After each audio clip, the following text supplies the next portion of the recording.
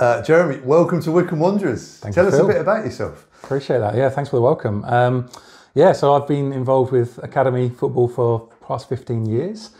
Um, if I'm rewinding all the way back, I actually started at Crystal Palace uh, as a pre-academy coach. So uh, the, the sort of local club to me down there, and I had my own coaching company as well. I was a bit of a jack of all trades. Um, and as that was going on, I became involved with AFC Wimbledon, who we uh, we were all down there yesterday. Um, and at the time, AFC Wimbledon were obviously non-league, and it was a very grassroots youth setup um, with parent managers and kids turning up in Chelsea shirts and Arsenal shirts and all the like of it. And we went on a journey, me and a few other people as well, of professionalising the academy. So we went from I don't know 2008 uh, through to 2011, developing it as a grassroots setup. Um, and in 2011, the club got promoted via the playoffs against Luton.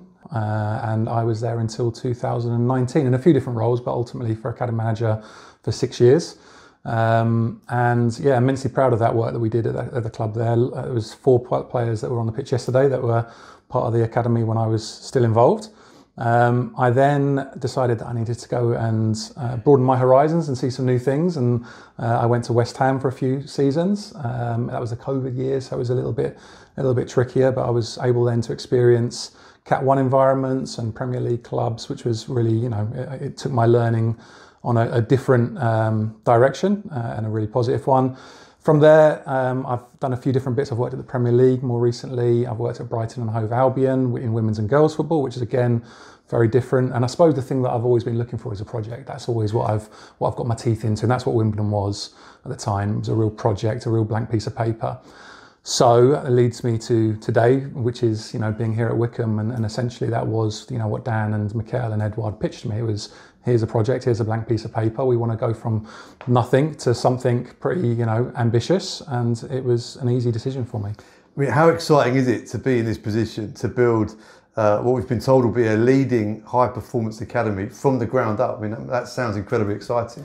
It is. It's hugely exciting, um, and it's why I'm here because I think I've, I've got to a point in my career now where I've, I've seen the, the full range of youth development setups and academies, and um, I've got quite a clear idea and vision in my head, which I think is aligned to, to what the owners want as well in terms of how to run a high performance academy. What we want to try and avoid is um, just being doing the same as what everyone else does. I think innovation is going to be a real core pillar to what we do. And therefore, because there is nothing here at the moment, we're obviously in a privileged position to be able to really think deeply around how we design it and how we build it out. And that's going to be something that's unique and something that I think can stand us out from the crowd, attract talented staff, attract talented players, uh, and I think that will set us on the course for being different and that, that high performing academy that you talked about. And I suppose the only thing to, to mention on that is that it's it's certainly not an overnight journey. It's going to be it is going to be a long road, and it is, certainly a project. And uh, we're in it for the long haul, and that's what academy is, right? Like we're trying to take 9, 10, 11, 12 year olds through to 18, 19, 20 year olds, and that's that's a big cycle there. So it's um, yeah, we're, we're playing the long game with it. We're here to try and support the, the club's medium and long term ambitions. Yeah, speaking to the fans at Adams Park last Saturday, people very excited about the reintroduction of the academy, and it is about now telling people it is a long-term process. Uh, just how long does it take, and, and, and what are the, the key sort of milestones that we have to achieve?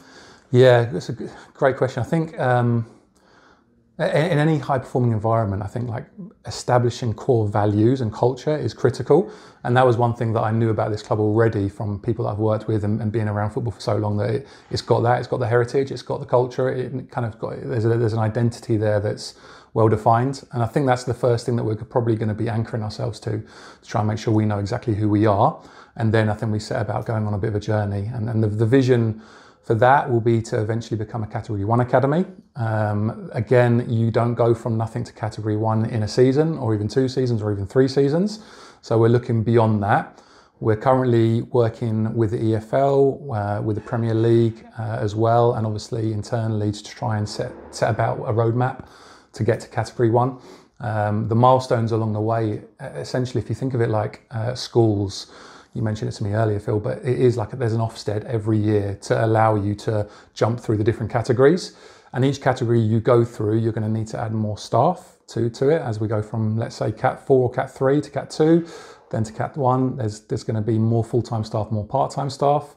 Um, facilities and infrastructure will need to, to, to grow in line with the requirements because when they come in and audit us, they're going to have a tick list of things that make us compliant with the rules, safe to operate, but then they also look at your standards as well. So the, the last bit of that is how well have we embedded our programs, our policies, our football philosophy. Experts come in and they, they go, okay, yeah, that, that's where you're at with that now. You're, you're, you're good, you're adequate, you're very good, whatever else it might be. So those will be the, the, the milestones, um, facilities, staff, and, and, embedding your programs and processes. Those are the three big hitters. Uh, infrastructure's a big word as well. We've moved yeah. to Harlington recently for, for the first team as well, but this will be key to the academy as well. What can we expect to see in terms of infrastructure to support the academy? Yeah, I mean, I've obviously walked in uh, on Monday and we're already at Harlington, and that's amazing because it's Harlington's got a, a great footprint and great bones already to support us. Um, I think if we were to magic up a category three academy right now, we'd be good to go at Harlington, and that's a really good, healthy position to be in. To get to category two, um, there isn't much more needed other than probably a little bit more office space to, to home a few more staff. Uh, and the, the big one would be a dome over, you have to have an indoor facility. So that'd be, um, you know, planning permission and then trying to put that on site. And I know there's there's already thoughts and plans uh, underfoot for that already, which is amazing for me to be able to, to walk into. Um, yeah, and you know we've got 18 pitches out here, which is incredible. There, there aren't too many football clubs with the ambitions that we've got that have already got that ready to go. So we're in a good position already. It's really healthy. And the, the geographical position of Harlington as well. Yes, uh, yeah. It's on public transport. Uh, it's links into London. It's not too far from Wycombe as well. Is mm. that a really good point too? It, fantastic. And funny enough, when I was first meeting Mikel and, and uh, Dan and the owners one of the things that I was putting forward before I knew about Harlington was actually like if we've got the opportunity to think about where we can locate the academy, then can we be closer to London because the catchment area is fantastic. There are, you know, uh, every club in the pyramid wants talent from London, and there is enough of it out there as well. So you know, I've grown up in London and, and, Dan has worked in London for many years as well. So we've got good contacts, we've got good network already. Um, being able to allow the talent to have access to this place, which we're on the M25, the M4, we've got the train line, we've got the Elizabeth line not a million miles away. Um, we're, you know, we're in a good position to be able to get talent to us for sure. So that's, that's hugely exciting. And I think we've got to be, um, you know, we've got to be targeted first and foremost because we're going to have, as soon as we open the doors, we're going to have a lot of talent that wants to come and be here. And I think we, again, going back to my original point, we need to know what we want, who we want, and be targeted around the type of profile that's going to eventually, hopefully, make it into our first team. And, and therefore, then we can be a bit more targeted about our approach to, to recruitment. Uh, and, and, finally, the, uh, the fans love to see players they call them one of our own. Sure. We see it across football, but Wycombe fans are no different to this. Yeah. Uh, how does it feel uh, in your experience of working uh, through football when you've when you've seen someone identify them, develop them, and then seeing them on the pitch mm. doing the business? How does that feel for you? Yeah, it's. Um, I think every youth developer is, is after that buzz, right? Is is going to the games on the Saturday and seeing them cross that line. That's what we're preparing them for from nine years old all the way through.